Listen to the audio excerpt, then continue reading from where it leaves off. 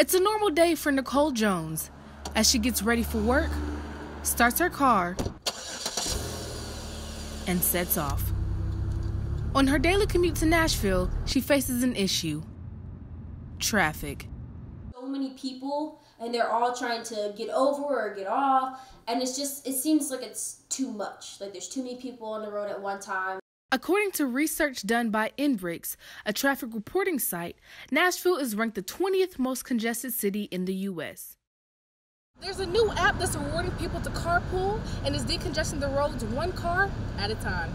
Hytch Rewards was created in Nashville by Mark Cleveland to help decrease the number of drivers on the road by having members carpool with others while tracking the miles driven. And then these are the different options. So, like if you guys are carpooling with a bus or a train or Uber or Lyft. Content manager of Hytch Rewards, Lane Hoke says this program is a steer in the right direction. Um, going to events and all that kind of stuff. So, the Hytch Rewards platform was built for people by people um, to impact everyone. So, the more people that use it and the more people that track their shared miles and get creative about how they get around, the better off we all are.